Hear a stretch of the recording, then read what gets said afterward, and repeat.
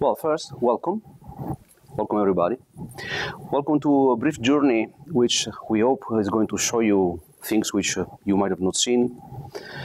And in this journey, we're going to talk about white boxes, not about this white box, of course. And we hope to we can find things together which might not even be there, and find keys when they are not even there. But first, let us be gentlemen and introduce ourselves. I'm Cristoforo. Then there is uh, Eloy and Job, and uh, we are here to present uh, uh some research that we have done and we, which we would like to share. Um, but this would have not been possible without our colleagues at Riscure, which goes a big thanks. But before, let's say, diving into the, the rest of the presentation, let's understand the what and the why. So what are we going to talk about and why we're here? Well, we're going to talk about white box cryptography. Uh, can I ask you, the audience, how many of you has heard or knows about it? You please raise your hand? Wow, I'm impressed. I'm impressed because in my previous test before, actually, uh, I mean, the, the ratio was about 1 to 10. So I think that this audience is quite well educated. This means that uh, I hope all the messages will go through. Well, as you know, most of you know actually, this is intended to protect keys in untrusted, in a very hostile environment. Actually, it's going to be the most hostile one as we are going to see. Well, we are going, we, why? Why it's important? Well, it's becoming increasingly relevant, the white box scenario. And the usage of white box cryptography in, uh, is increasingly relevant in security solution, in what is actually protecting some of your assets, some of your most beloved things, including money, as we are going to see, is a, is a very relevant aspect of your security solution. We are going to share also about an idea, an idea that we had, we thought could be worthy of pursuing, such as porting hardware attacks to software. This is actually the, the novelty. The hardware attacks might be already known to some of you, possibly not to others, but it's the angles which is uh, the intuition that we had. Different angles and different perspective, which might really change a few things. So a new exciting direction, and we got really excited when we understood that it actually works. And is a, a very good job in extracting keys out. So an extremely effective approach, both in timing and knowledge required. We are going to see very soon. And also we understand this is not relevant only for white box cryptography. Basically, it's relevant for any software-based crypto solution. So if you have a crypto algorithm in software, if you have a, a key in memory or not in memory somewhere else merged with the algorithm, like in whitebox, this is going to be relevant. Okay, but one thing at a time before an introduction on whitebox cryptography, which I'm going to present. Then we are going to the key recovery attacks, and Eloy and Job are going to guide you through all this path. We are going to visit together. And finally, the conclusion. We'll see what does change to whitebox, to crypto, to any digital ecosystem that you're probably living in at the moment. Okay. Well, cryptography has been around for almost, I would say, 4,000 years. First signs of encryption actually dates back to 2000 before Christ. And the problem has been mostly one in all this time, being either solved with Enigma or with Caesar cipher, only one. It is a, we have two friendly party which tries to communicate with each other. And it is an evil party which tries to get ahead of the, con of the content which is transmitted. So the problem here is uh, how to protect confidentiality of the message. And in the black box scenario, which is being modeled in cryptography, typically the attacker is only able to observe and alter just the transient messages. Of course, this has been very useful to describe things until we started having cryptography in hardware. Then the model had to be augmented with gray box model, where the cryptography operation is performed, let's say, in a smart card. And the, it, it is uh, actually in uh, a device, in a system, which the attacker has access to, where he's able to observe and alter both ends of the communication system. So if an attacker is able to observe and alter also the devices where the crypto operation, either encryption or decryption is performed, this is we are called in a gray box scenario.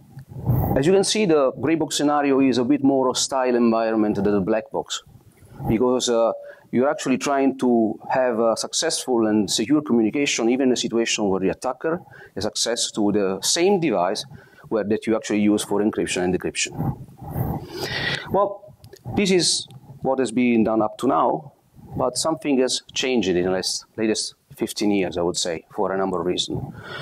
We had internet, we have the mobile and portable devices, of course, and we have also now uh, the digitalization of good. We have a, a, digital economy. Basically, now you can access some goods which actually you can copy ad infinitum. So this, the, the model does not work necessarily on only the encryption of the content. I mean, if you want to use something as a user uh, and have access to that, well, basically, this is what you are uh, going to get nowadays, along with the key. So now the model shifted from the confidentiality approach to the authorization. So when you actually buy something, you actually buy the authorization to use it. And everybody is going to be really happy and enjoying this at the moment. But this goes along also with, uh, with your payment, of course. Well, actually, nowadays we pay with our mobile phones.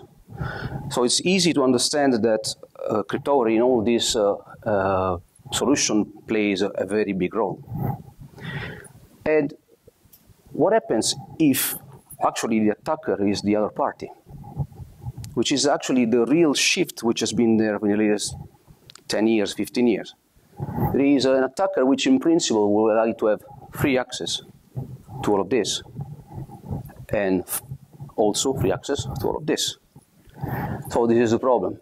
This problem is that how do you defend, defend from an attacker which is actually the one consuming the goods that is, is buying?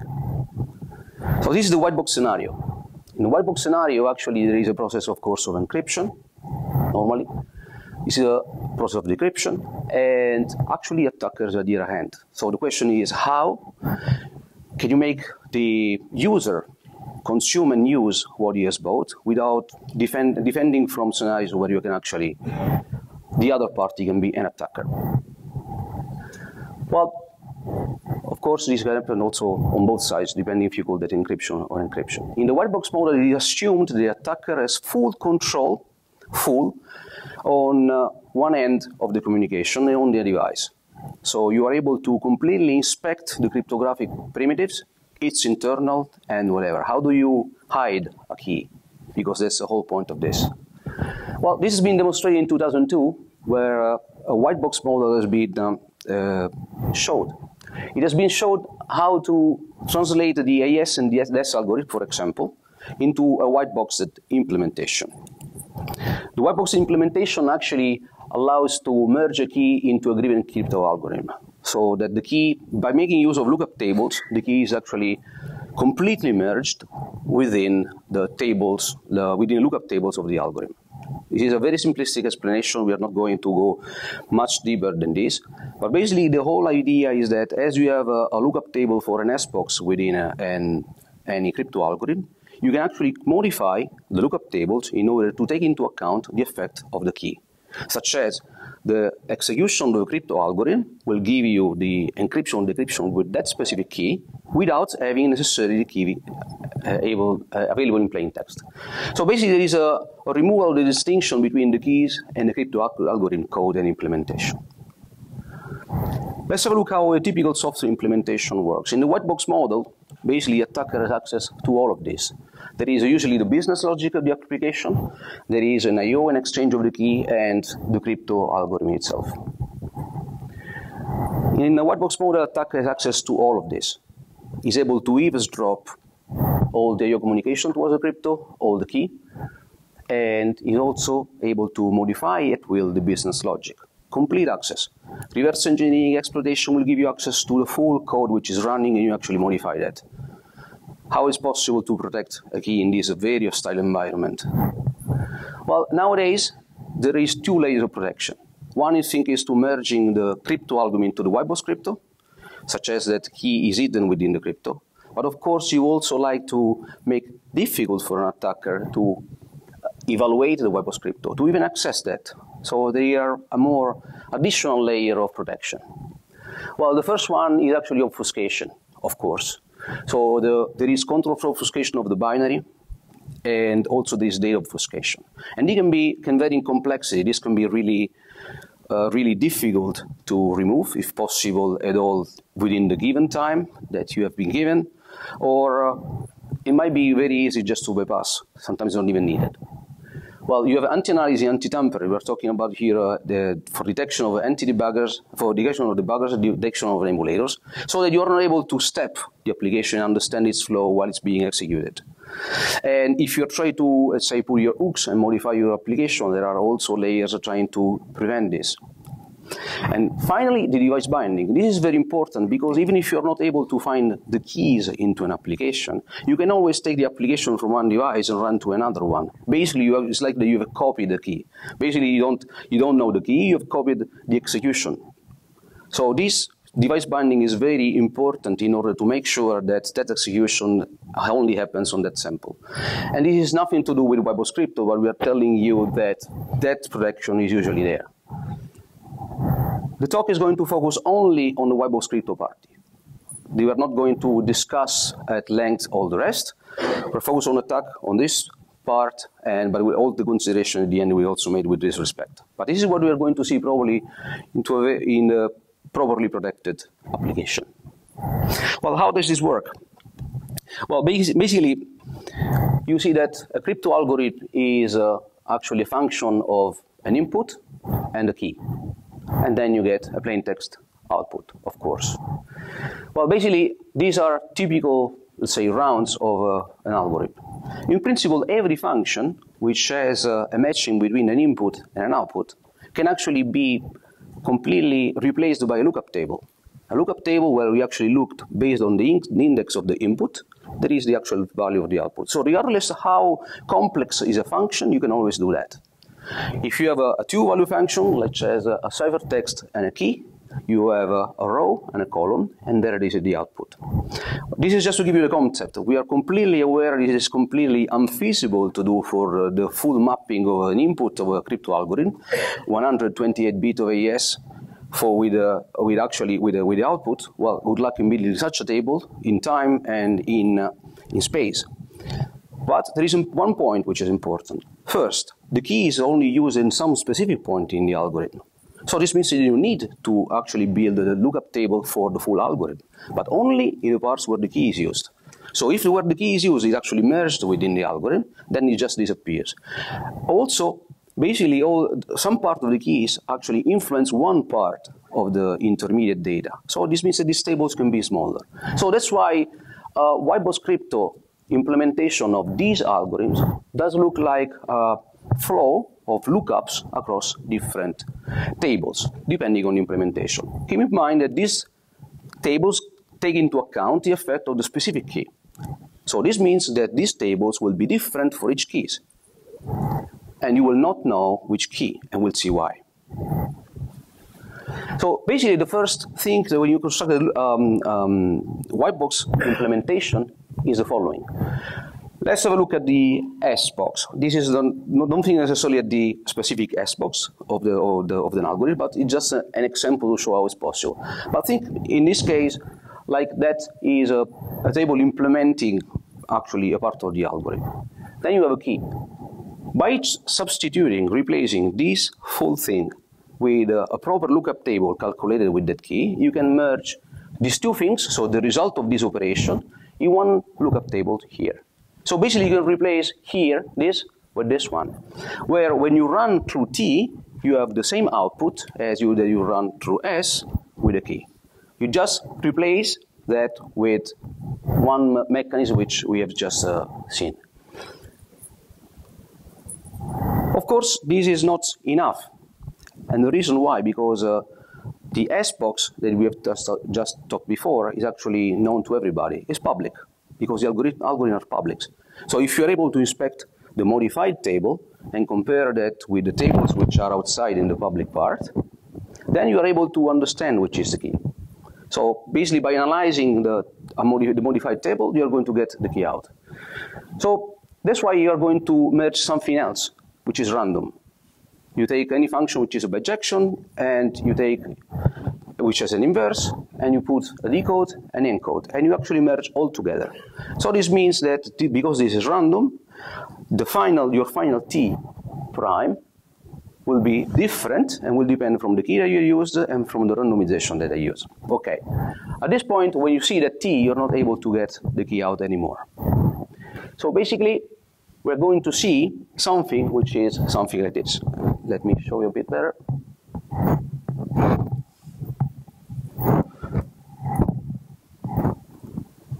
Uh, it's not okay. Control one, sorry. Yes. Yes, okay. So you see, this is a, a an implementation white box of AES.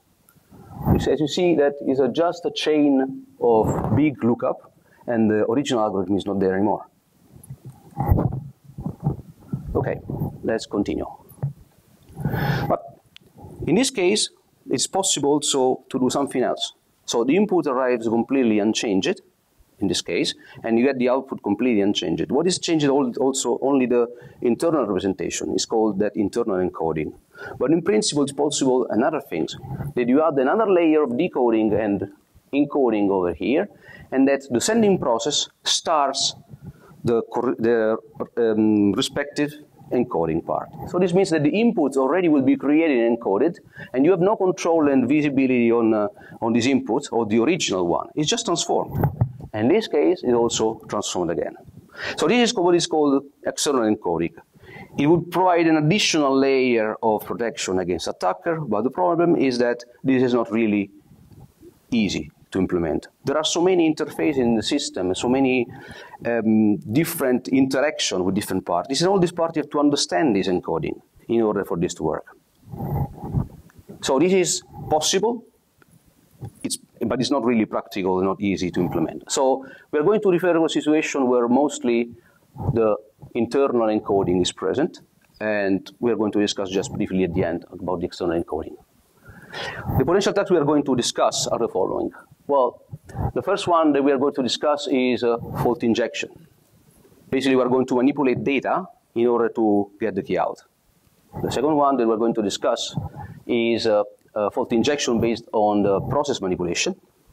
And there is a third one which we're going to show is uh, how comparing uh, a white box implementation against the normal implementation will give you the key. What has been described up to now? Well, all the academic implementation of an attack and the proposal actually focus on the key extraction. But there are a few assumptions over here.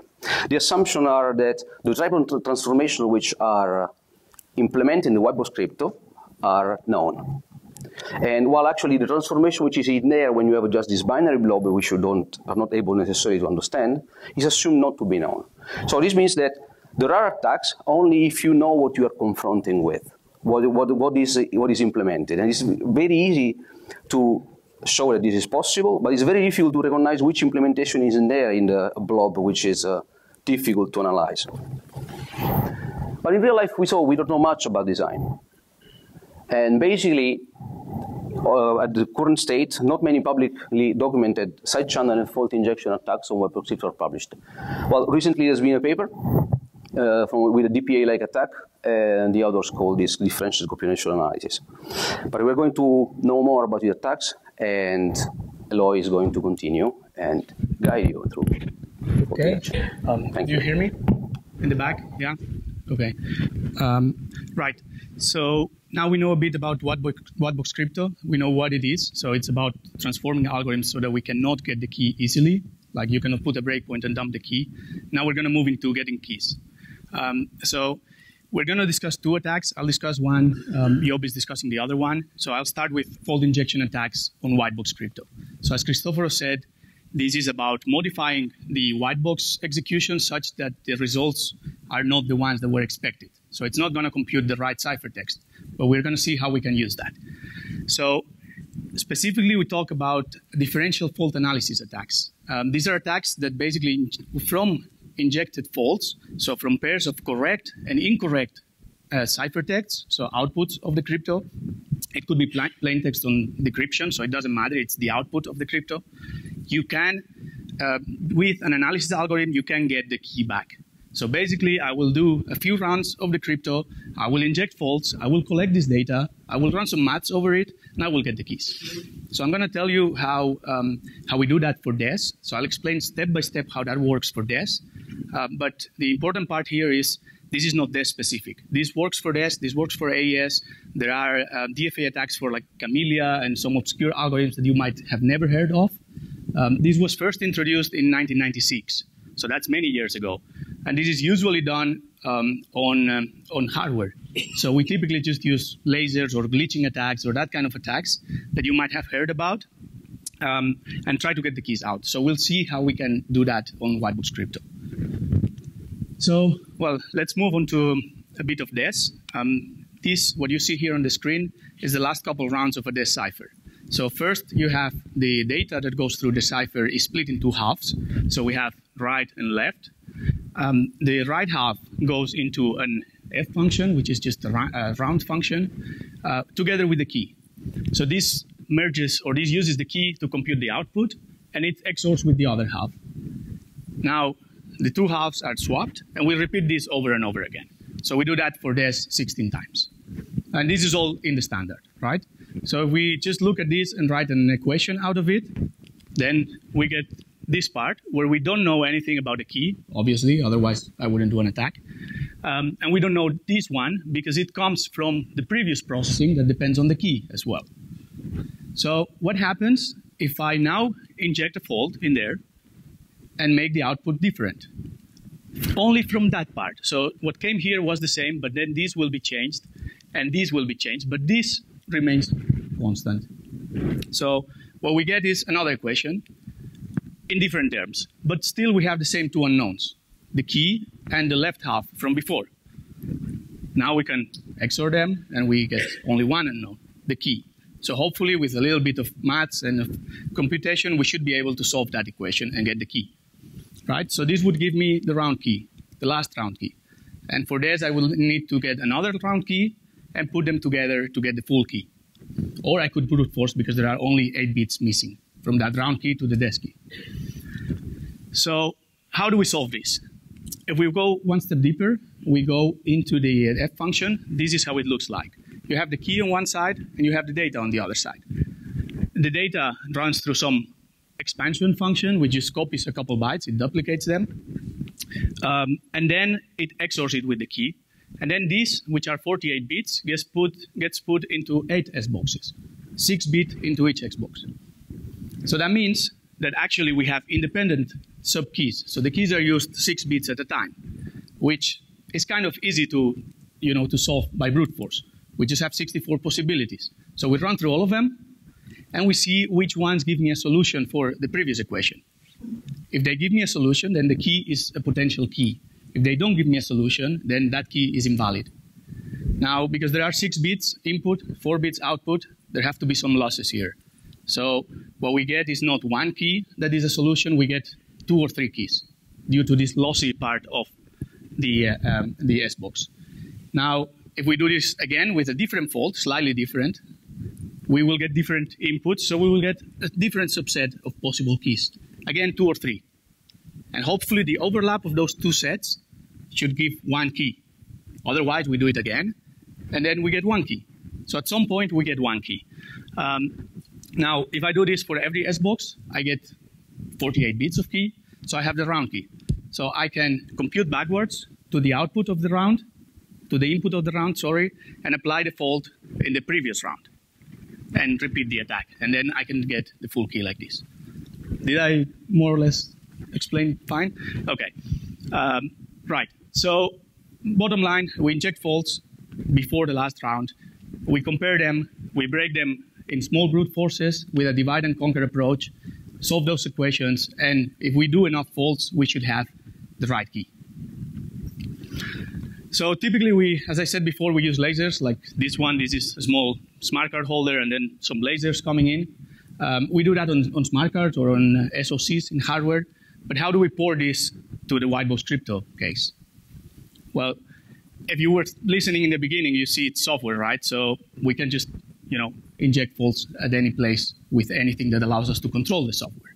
So what we do is um, we first locate more or less where to inject the faults. Then we, uh, we collect, we start injecting the faults and collect enough pairs of plaintext and ciphertext to break the key. And for that, we can use a multitude of options. We can use debuggers with scripting like GDB, or we can use emulators like QEMU or Unicorn. We can use dynamic binary instrumentation, stuff that every reverse engineer is used to you know, use on a daily basis. And we can use that to automate this process of injecting faults. And then finally, we need to do the fault analysis, which is what I just explained before. So we just need to compare this, do some maths, and hopefully get the key out. Um, for this, we use our own tools. That's uh, it's Inspector. It's a commercial tool. You can see it later on if you come by the booth. Um, but you also have, for example, ex uh, DFA examples on GitHub. So you can go to GitHub, you search AES DFA, and you'll see some examples there. So we're going to analyze a target, which is called WBDES. This target is um, basically a DES encryption. It gets a plain text, and it gives you a ciphertext. Uh, and it has a key hidden within the target. It's not like a binary byte array, but it's there in the lookup tables. The key is there for reference, but I'm not going to put it into the tool or anything. I'm going to show you how, how it gets out. Um, so this was a challenge that was posted by uh, Brecht, Brecht in uh, 2012 at whiteboxcrypto.com. Um, so we're going to use it for all the attacks that we do today. So here is a, a VM where I have target, so I can run the crypto, and you can see that it says, well, I need a plain text. So I'm going to pass the plain text to it. So I'm going to use this WBDES, and then just not zeros, right? So this encrypts. Um, and the key, well, I tell you it's not in, in, there. I opened it into IDA, it's not in there. Um, but we're going to see how this can, how we can extract the key. So I'm going to run a script, which is called run uh, DFA. And while the script is running, I'll tell you what it's doing. Okay, so the script is there. Um, so the first step, as I said before, was locating where to inject the, the crypto. This plot here is a plot from the accesses to memory by the device or by, by the crypto while it's running to the stack memory. In red, you have the writes, and in green, you have the reads. So basically, for each memory read or write that we see, we give it an index like 0, 1, 2, 3, just consecutive, and we plot it here in the right color. Now, what you see there even though this was a white box, there is some nines pattern here that repeats. So there is, if you count, there is 15 of these lines here, and that's actually almost the rounds that, that there are in a DES. So this is very likely to be the DES execution. So we want to be towards the end, so that's going to be our target area. And I'm going to use the IDs as references. So about 40,000 and 50,000, that's my range where I want to inject faults.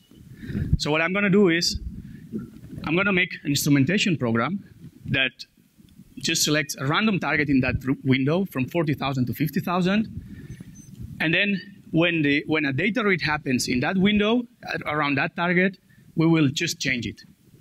And that will inject a fault in the crypto. So in code that looks like this with Unicorn, it's basically, well, if the event ID, which is basically incrementing here, is close to that and um, yeah, and if we want to fault it because we can fault, we want to fault only once every run of the crypto, then I just write back a value that has been XORed with a random bit. So it, it's very simple. It's just like there was this in the memory. It's going to be read by the program, so I'm going to just flip a bit in there. Um, so that's what my script was doing, and it was it was just um, yeah, it was just injecting faults saying faulting at 42,000, 46,000, blah, blah, blah, 400 times. Now, I open our tool here, um, and I will open from my location where I created the file, I created a trace file for our tool, which is here.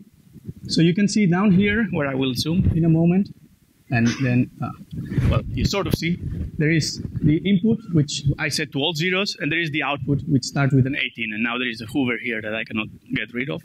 Um, this is the first execution where I didn't inject a fault. I want it as a reference, and then everything that comes after has faults. So if I run from here, from the crypto place, I run the DES differential fault analysis module, which looks like this. Uh, this module can attack round 16, round 15, if you know the key for round 16, or both of them. So if I just press the go button, I get a nice graph and I get a key down here, which is the key on the screen that I showed before. Um, what is important here is that you see the difference between the top candidate and the next one. So if that difference is big, that means that this solution appeared many times compared to the next one. So the second one appeared 50% of the time of the first one, uh, of, of, yeah, of the first one. So that means that there is quite a big confidence that the result is correct. So to to make sure that I'm not cheating, I have a Python script that I will show you. So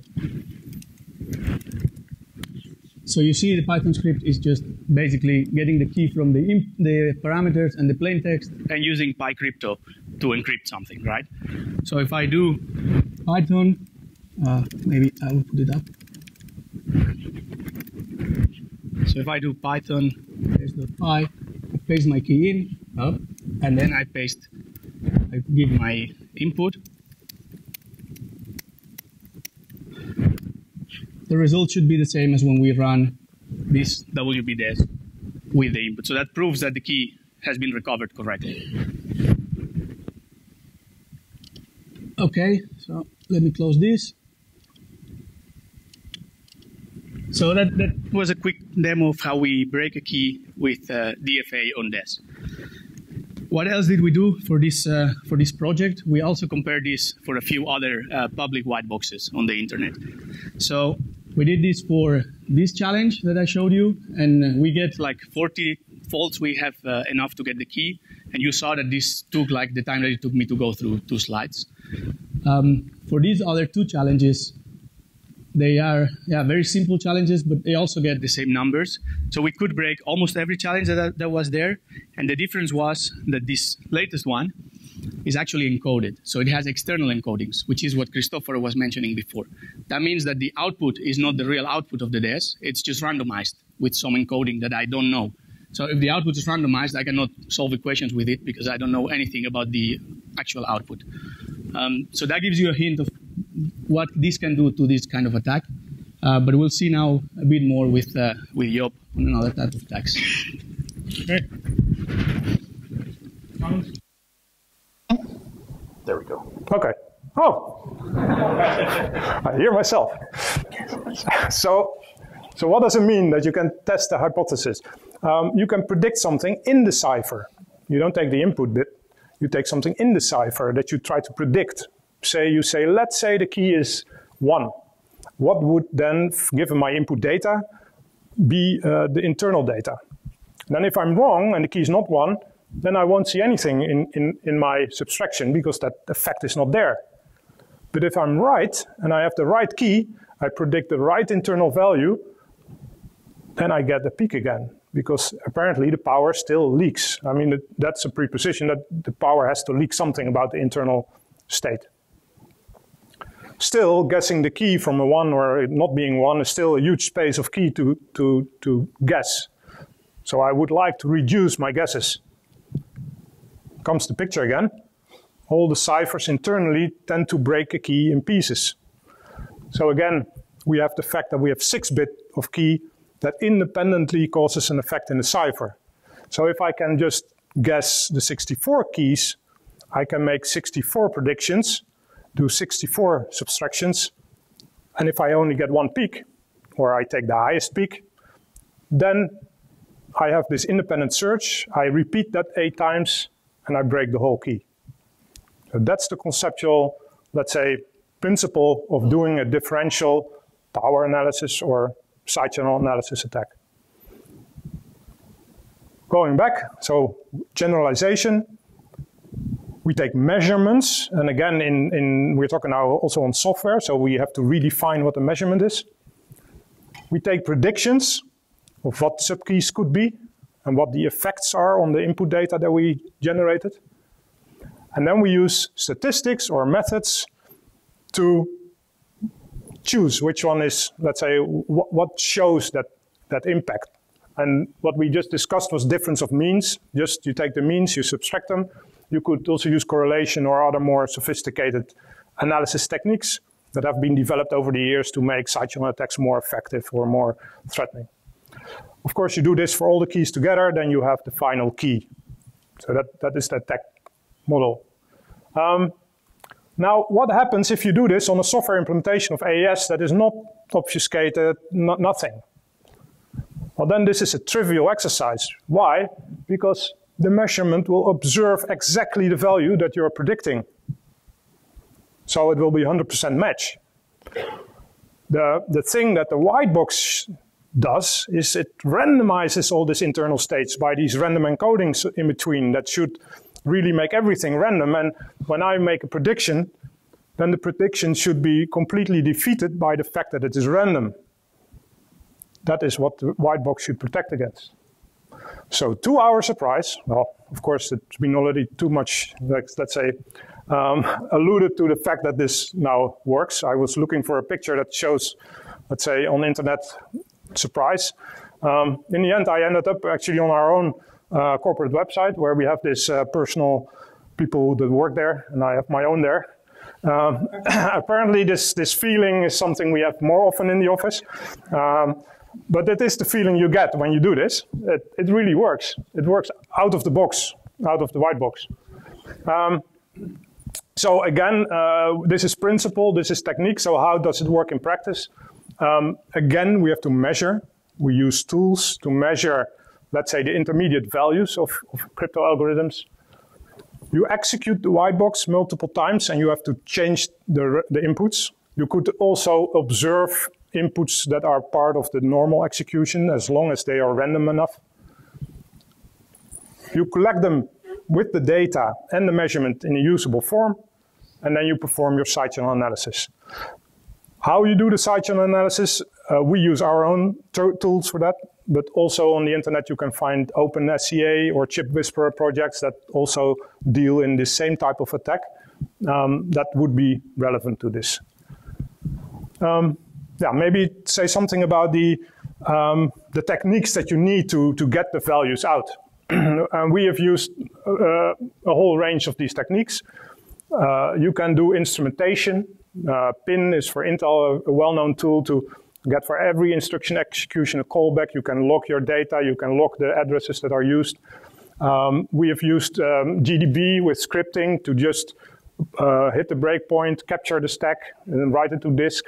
Um, we've used emulators, Panda, to record an execution and then change some values, replay, change some values, replay. So there are various techniques that you can use. Um, and then you have to capture it in a certain form. And, and here is a difference with power measurements. We are used to getting 8-bit samples from an oscilloscope or something like this. But now you're getting memory values, um, and they don't have a, a, high power level or a low power level. Uh, they have bits, and all the bits are equal. So for this type of attack, you tend to go to bit um, binary traces instead of like these full byte uh, traces. But you can capture anything. Again, you can also capture low um, address bytes because they reflect indexes into the tables that we have in the white box, and they can leak information. And the final step is to, um, yeah, to execute the analysis. Um, and uh, I will show, let's say briefly, how that now works again in our, what is? Let's, oh, same key, same implementation. Uh, let me quickly go to this again.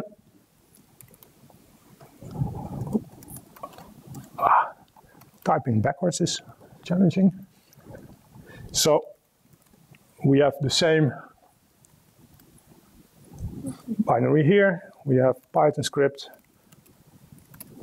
And what this now does is it, it does the same. Oh, it's breaking off a bit, but you see the random inputs going in, the random outputs coming out of every execution run, and it um, shows the number of samples that it uh, took, because that is easy for our tool to, in, to import the, the data again. Um, and it would, yeah, it's almost done, so I can switch to this tool. Um, we have a slightly different module to import. So we have a tool called binary import. Right. There it is. So I can, well, load it as bytes or bits. So as, as I said, I will now load it as bits. How does it look? Well, so it's not very visually interesting. Um, it's not easy to see round one and round two. There are ways to get that information from this kind of collection. So if you take more data, it becomes more clear even at this analysis where your rounds are. So you, there are different ways to plot this.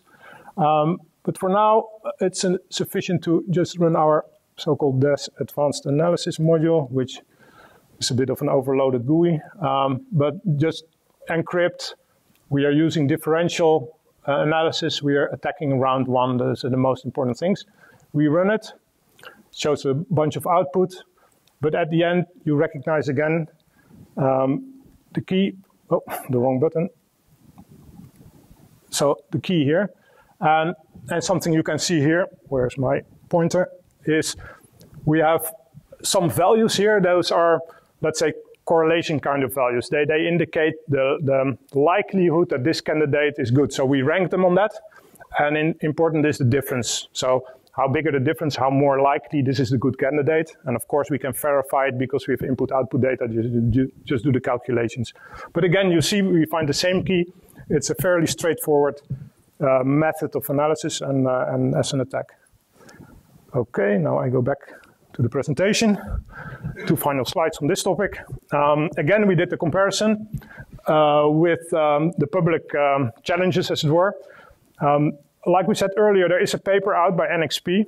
Um, they showed uh, also results, and, and they fully, let's say, or we fully, uh, let's say, confirm their results. Uh, you see that sometimes our values are a bit different. Uh, the middle two ones you see because they don't have random encodings. So in that sense, they are not true random white boxes. That's why they're so easily broken. Uh, for one, we have many more traces, but you have to realize this is only 10 minutes more of analysis time, so it doesn't really matter. If there was a million, it's still within the realm of, of attack. And again, also for this one, random encodings on the outside of the algorithm um, are, the, are a barrier. And that's good to remember. So what does it mean? A, there's no detailed knowledge required about the implementation of the white box for the rest. So how did they did the tables, uh, where the rounds are. You, depending on how you do your tracing, you don't even have to know exactly where it's being executed. As long as you have enough memory and a bit of power on your computer, you can use all this analysis much faster and, um, uh, and take your time and find it. The other thing is no manipulation required all these countermeasures of anti-debug, anti-tamper make sometimes the manipulation uh, challenging. For this, that isn't necessary. So it's a lighter, let's say, prerequisite. Um, so the, the random input output encoding on the external side is, is the only barrier left. But like uh, Christopher said, you also have to decode it somewhere. So finding this encoding is not always also an obstacle. So after finding that encoding, then this still applies. So that's good to keep in mind. Um, yeah, that's what this says. So, Christopher, yep. wrap up. I guess it's. Well, basically, what we have seen now is something which should be, I think, quite surprising. At least it was really surprising for us. With fault injection, we were able, by modifying bits in memory, to completely get the key out of, of a whitebox script implementation, where supposedly the key is not even there. Well, it's uh, strange to get a key when it's not even there, but basically this is just hidden in the white box uh, cryptographically. But by modifying bits memory and understanding the output and playing with the output we got, well, we're able to recover the key. And this is exactly what is done in hardware. This is the whole concept that we actually are injecting fault by, say, in software, in memory, by using software. So a software attacks for attacking a software white box. Similarly, what has been done for uh, side channel analysis with, with as uh, Job has shown, well, basically we don't even need to manipulate anything. We just need to record the execution flow of a program, nothing more. Basically, this can be done with any crypto program, even if the key is, isn't there. This technique will probably work, even if the key is actually in there. But sometimes you need to go through reversing, through understanding, to, to understand where a key is there. In this case, you just log the execution of the program, you analyze, and you will get the key out. Of course, the problem is uh, much more relevant in the case of white box crypto because uh, actually the key is supposedly hidden in the algorithm.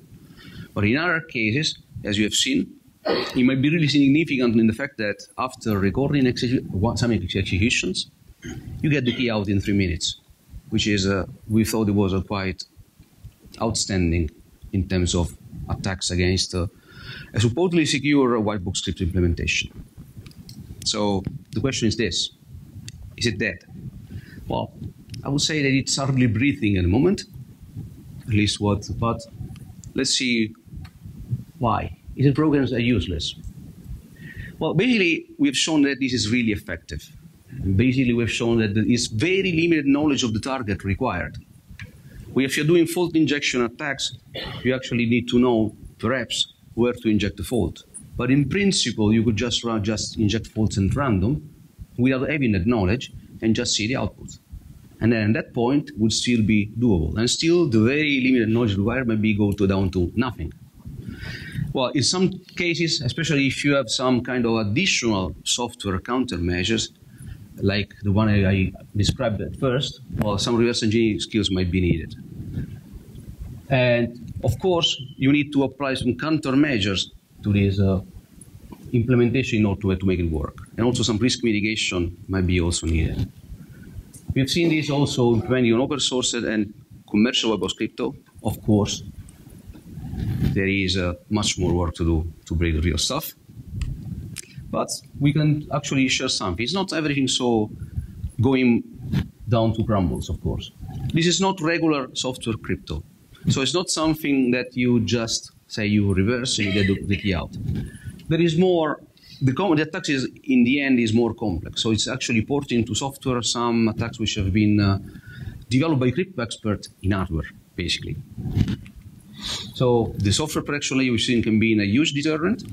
And basically, you if you actually apply renewability of keys, because it is possible, to this kind of solution, well, if you actually break a key, but then it's actually renewed, and every time you need to change this and re-perform the attack, well, this might be quite a good deterrent as well. So how to make it stronger? Well, of course, you need to apply whitebox crypto, of course, but first thing, you need to make sure that there is a very good layer of obfuscation of, in general, software protection layer, which prevents the attacker to easily interact. I mean, in the end, if you're not able to, let's say, instrument your program in order to record, basically you cannot perform any of this attack. So instrumentation of the program is the first thing basically. Once you're actually there, basically what the, the outstanding defense, the last stance is uh, in the white box crypto.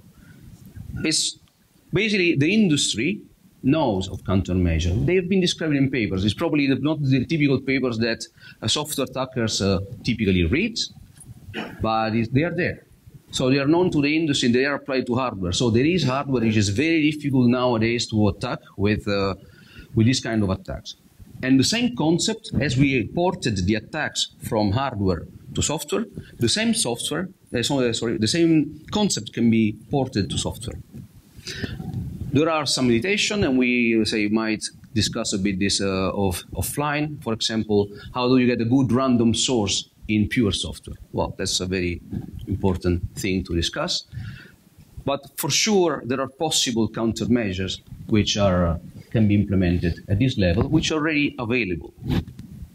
So basically, for side channel, you need to prevent that there is a dependence between the key and the behavior of the program. Because if the program behavior does not depend on the key, even its analysis cannot reveal the key. Nowadays, what we are seeing is that the access to stack was, for example, depending on uh, the round. So we, we were able to see this. So the first thing is uh, try to prevent this dependence. The second thing is uh, apply randomness. For, again, this is still the same things uh, applies. If you're doing a fault, well, we actually modify memory. But if you don't check the memory, we're free to modify it, of course. But if you check it once, twice, if you actually there is a, a change in the flow and you just check only once, of course we are free to modify, no one will notice. One typical approach is that you perform double check. You check once, you check the second time, and you actually are, make sure that those two instances of check are identical. Otherwise, someone has changed something. So it's, of course, carrying the redundant data along the computation. And also, another thing is, if I inject a fault and that fault remains localized, so it doesn't break the rest. I mean, it's very easy for me to actually isolate and only attack that part. But if I change a bit and everything actually changes, then the actual analysis becomes more difficult, both from a side channel part and fault injection. So we are at the end. We will first would like to thank you for staying with us. And I would also like to invite Job and Eloy to come on stage for taking the questions. Thank you.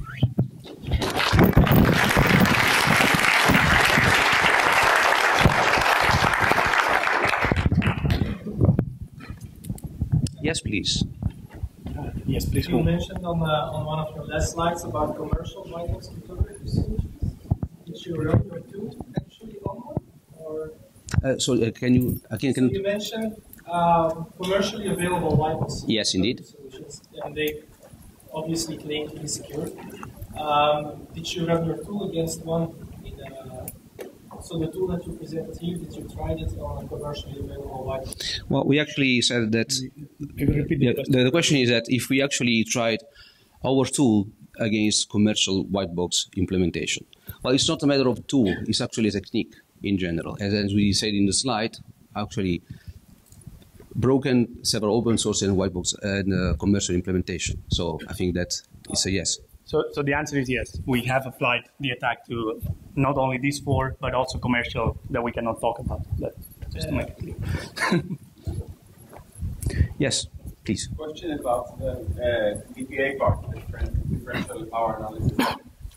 Uh, you said that it works out well. This is very surprising because, as far as I know, differential power analysis is usually is very specific for the uh, for the implementation, and the white box is completely different implementation. So well, yeah, it's it's um, it's not completely true that a side channel or a power analysis attack is very specific to the implementation.